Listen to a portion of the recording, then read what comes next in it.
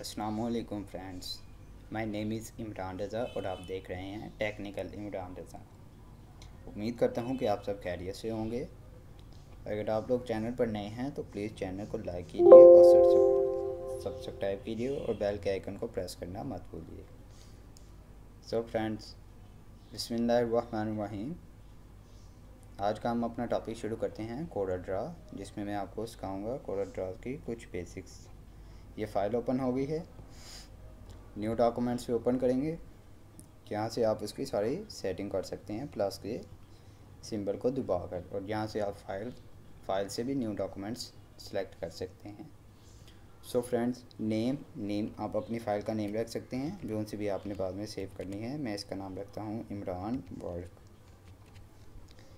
Page है present custom ये हम अमूमी तौर पर कस्टम ही रखते हैं। नंबर ऑफ़ पेजेस आप इंक्रीज़ और डिक्रीज़ कर सकते हैं। फोर फाइव लेकिन हमें एक की ज़रूरत है। Primary colour mode C M Y के कलर उस वक्त यूज़ होते हैं, जब आपने किसी भी चीज़ का प्रिंट निकलवाना हो। क्योंकि ये प्रिंटिंग में कलर्स अच्छे रहते हैं और आठ जी बी जब आपने सोशल मीडिया पर पोस्टें बनानी होती हैं, तब हम आठ जी बी यूज़ करते हैं तो मैं आठ जी बी यूज़ करूँगा। पेज साइज़ आप कोई भी रख सकते हैं। लेकिन मैं इस वक्त ए फोर ही रखूँगा। विथ हाइट आप चेंज कर सकते हैं। इंचज़ में रखना चाहें इंचज़ में रख सकते हैं। फीट में यॉर्ड्स में मिलीज में सेंटीमीटर में, किसी में भी आप रख सकते हैं। लैंड लैंड रेट पोर्ट्रेट और लैंडस्केप ओरिएंटेशन होती है। हम इसको पोर्ट्रेट ही रखेंगे। रेजोल्यूशन हम थ्री हंड्रेड ही रखेंगे।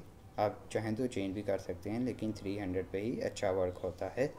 ये इसकी कुछ और भी सेटिंग्स हैं कलर्स की सेटिंग्स हैं। ये देखिए friend R G B profile C M Y के प्रोफ़ाइल हमने आर जी बी यूज़ करना है, इसलिए हम उसी को ही सेट रहने देंगे। इसको ओके करेंगे।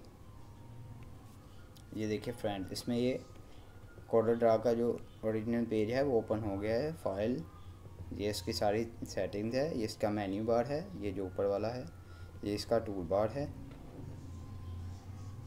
सो so फ्रेंड्स आज मैं आपको इसमें पिक टूल के बारे में बताऊँगा। पिक टूल में इसके थ्री पिक टूल्स होते हैं। Pick free hand pick free transform so friends मैं कुछ शेप्स ड्रॉ करता हूँ ताकि आप लोग इजीली समझ सकें। सो so फ्रेंड्स ये मैं कुछ शेप से ड्रॉ कर रहा हूँ।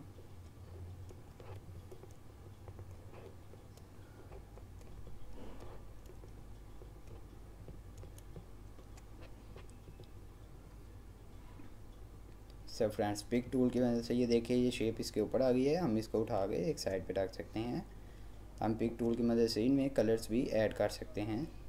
ये देखिए फ्रेंड्स इनमें मैं डिफरेंट कलर्स ऐड करता हूँ ताकि आप लोग समझ सकें कि इसके pick free hand pick tool और फ्री ट्रांसफॉर्म का क्या फ़ंक्शन है, क्या रोल है इसमें।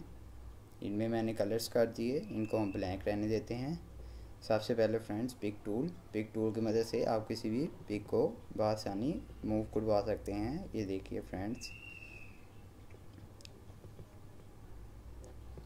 इसके बाद सेकंड नंबर पे आ जाएगा pick free hand pick free hand की मदद से आप ज़्यादा पिक्चर्स एक ही वक्त में सिलेक्ट कर सकते हैं। उनको कहीं पर भी मूव करवा सकते हैं।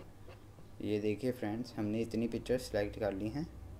अब ये देखिए फ्रेंड्स हम इनको मूवेबल करवा सकते हैं मूव करवा सकते हैं, हम इनको कहीं पर भी रख सकते हैं। आप जितनी चाहें पिक्चर सेलेक्ट कर सकते हैं। अगर आप चाहें कि आप सिर्फ़ दो पिक्चर सेलेक्ट करना चाहते हैं तो आप इन दो को सिलेक्ट कीजिए और आप इनको कहीं पर भी रख सकते हैं। उसके बाद friends last option pick tool में फ्री ट्रांसफॉर्म के ऑप्शन है। फ्री ट्रांसफॉर्म से आप किसी भी पिक्चर को स्ट्रेच या फिर कंप्रेस कर सकते हैं। ये देखिए फ्रेंड्स इसको मैं स्ट्रेच कर रहा हूँ। इसको अब मैं इसका देखिए मैं साइज़ चेंज कर रहा हूँ।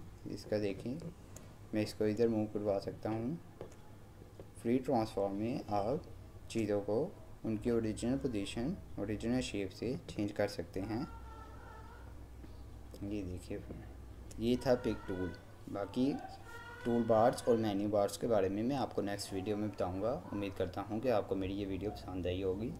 अगर आप नए हैं तो प्लीज़ चैनल को लाइक कीजिए सब्सक्राइब कीजिए। तब तक के लिए मुझे इजाज़त दीजिए। अल्लाह हाफिज़, मिलते हैं नेक्स्ट वीडियो के साथ।